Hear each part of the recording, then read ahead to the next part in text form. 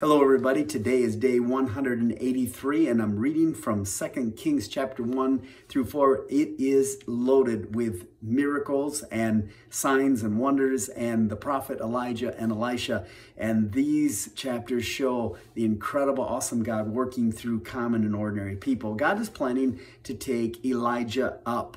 Now that's an interesting way of phrasing it, but to take Elijah up. Elisha would not leave Elijah's side and he's persistent. He's, he's determined to stick with him as if he all himself identifies that some benefit's going to come from his connectiveness uh, with this man of God.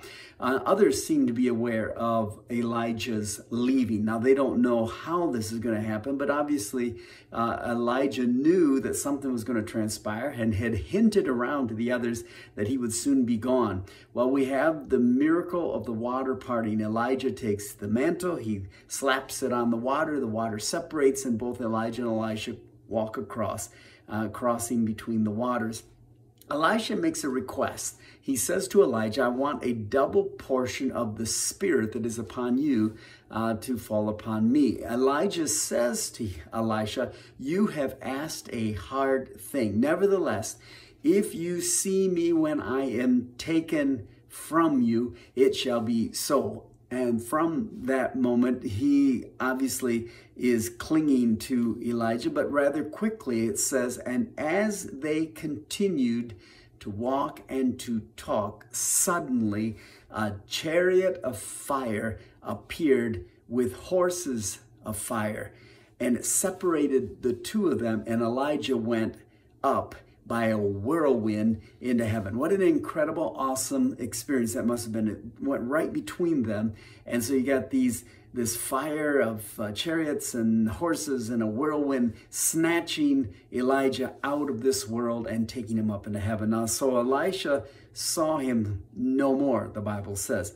And this is a symbol, a type, a shadow of the picture of the rapture of God's church the remnant be ta- being taken up. This is similar to what Jesus speaks about. The New Testament tells that you and I will experience that without warning. That's why Jesus said to be watchful. And this is what Elisha did. He was watching and wouldn't take his eyes off of Elijah. You and I are looking to Jesus. We don't know when it's going to be, but he did speak about the two will be together.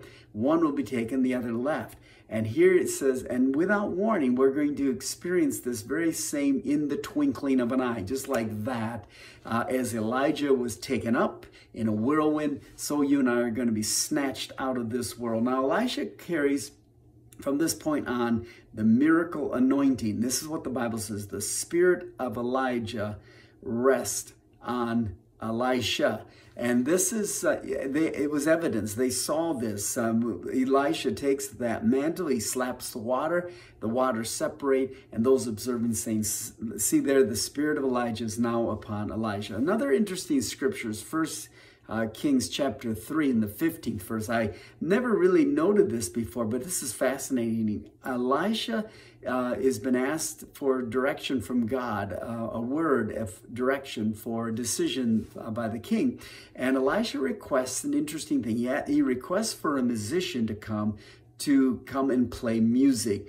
And it says that then it happened as the musician played that the hand of the Lord came upon Elijah and he prophesied. Now, this is the first connection I've ever seen where God uses music, but it's an indication because we see this even in David with Saul. Saul's unclean spirits, evil spirits were driven out when David would play uh, the harp. And so there's some connection here of worship and musicians playing and the activation of gifts and the uh, and the spirit of prophecy. I love the widow who has creditors coming. Um, she has no more money. They're going to take her sons into slavery. Uh, she goes to Elisha. He asks, uh, uh, What uh, do you have? And she says, Nothing but a jar of oil. I like that phrase, nothing but a jar of oil. This is what we find all through these passages of scripture. When Elijah goes up to pray for rain, he prays, sends his uh, servant to go look and comes back, I don't see anything. He prays again, goes look, nothing. Finally, the, servant goes and says, I, I see, well, I see something. It's, it's, it's, it, but it's just the, the cloud the size of a man's hand. And Elijah said, that's all you need.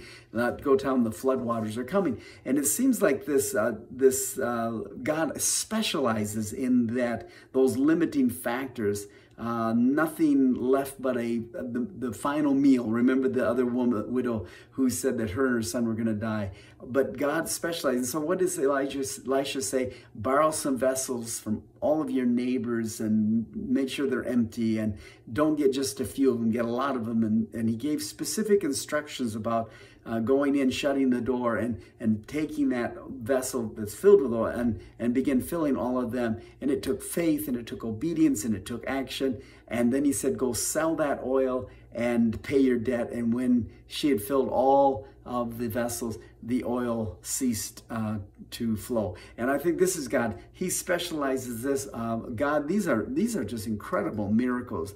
But it's certainly inter- in, indications for you and I that we could be living at a higher level than we currently are. Uh, the Elisha's uh, raises the the Shunammite's uh, son. The miracle of conception. Uh, Elijah's he's, his fight of faith, even raising that son. the miracle of multiplying the loaves. All of this is indications of God's incredible, awesome power and desire to network and partner with us in the supernatural.